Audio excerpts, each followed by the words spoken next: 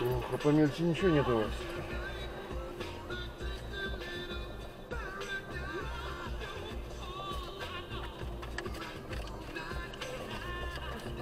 Пожалуйста.